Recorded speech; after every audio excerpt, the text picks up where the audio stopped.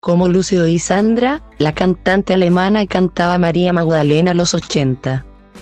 La cantante alemana Sandra Anlauer, quien sería conocida en el mundo de la música simplemente como Sandra. Nació en la localidad germana de Saarbrücken en 1962 y desde muy pequeña demostró interés por la música y el ballet clásico. A los 13 años, cuando junto a su madre acudió a la celebración del Festival de Jóvenes Estrellas una competición de talentos en Saarbrücken donde se estaba buscando gente nueva para incorporarla a la industria musical germana. Aprovechó que todos los participantes habían terminado de realizar su actuación y que el jurado aún estaba discutiendo los resultados. Para decirle a su madre que tenía que ir un momento al baño, cosa que no era efectiva en realidad. Sandra entonces se levantó, caminó hacia el escenario, persuadió al DJ para que pusiera una versión alemana de una canción que había popularizado Olivia Newton-John. Tomó el micrófono y comenzó a cantar. El reconocimiento obtenido por la improvisación le permitió conseguir grabar y publicar profesionalmente una canción titulada Andy Mainfront. Su primer tema que versaba sobre una niña que le cantaba a su querido perro mascota llamado Andy. En 1979, ya con 17 años, Sandra se unió al grupo femenino de música disco árabe que, que obtendría cierta popularidad en varios países de Europa y en otros como Japón. Cuando este grupo grababa su segundo álbum en los Europa Sound Studios de Offenbach, con Sandra siendo de vocalista principal, la cantante conoció al tecladista y productor Michael Cretu quien se convertiría en su pareja y en su más importante colaborador musical. Después que la pareja se mudara a Múnich y acondicionara su propio estudio de grabación. Sandra, con la producción de Michael Cretu, grabó en 1985 la canción que marcaría a fuego su carrera, comillas, y Never María Magdalena, Nunca Seré, María Magdalena una canción que llegaría al número uno en 25 países del mundo, en Suecia el tema llegó a estar dos meses liderando los charts de popularidad. Después de ese descomunal éxito, Sandra grabó y publicó ese mismo año su primer álbum, The Long Play, que alcanzó el número 12 en su país natal, y que también llegó al top 20 de otros países. El siguiente single de Sandra, In the of the Night, confirmó su gran éxito internacional.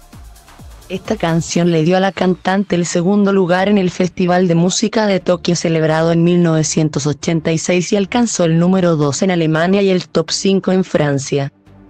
Para entonces, Sandra ya era aclamada como la princesa del pop en Europa. El siguiente álbum de Sandra, Mirrors, 1986, mantuvo el éxito de la cantante en Europa gracias a otros cuatro singles. Y al año siguiente, publicaría el disco recopilatorio de grandes éxitos de de singles. Un testimonio de lo rápido que fue su ascenso en poco tiempo hacia el estrellato.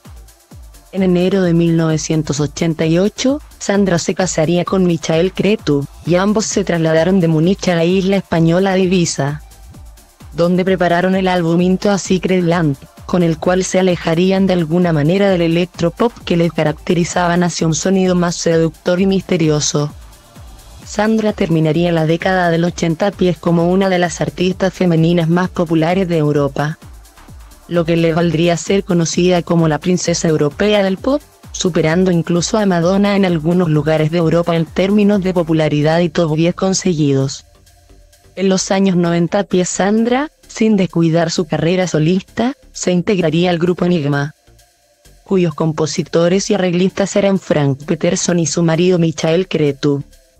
Debido al éxito mundial de Enigma, hubo una pequeña interrupción en la carrera musical de Sandra, que duraría dos años hasta que fue publicado su siguiente álbum Close to Heaven en 1992. En este álbum, la música toma un derrotero hacia un estilo más meditativo y menos bailable pues Sandra quería cambiar su imagen de ídolo para adolescentes y actuar para una audiencia más madura. Sandra y su marido Michael Cretu, por entonces, serían reconocidos en Europa como la pareja casada más exitosa del año, siendo premiados con el Golden Europe Award en 1992.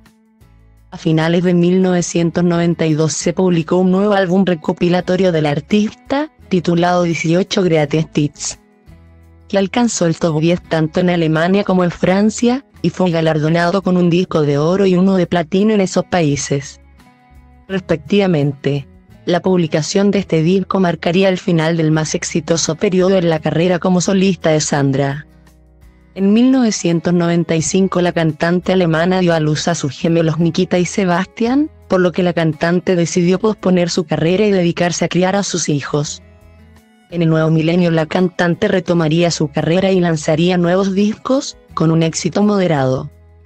En la actualidad, la cantante alemana, de actuales 56 años, sigue ligada a la música y aunque sus canciones jamás le granjearon el éxito masivo en Estados Unidos e Inglaterra.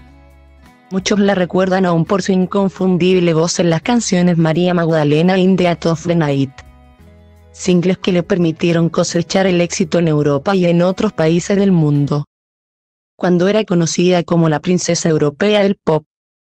Video de Sandra, María Magdalena.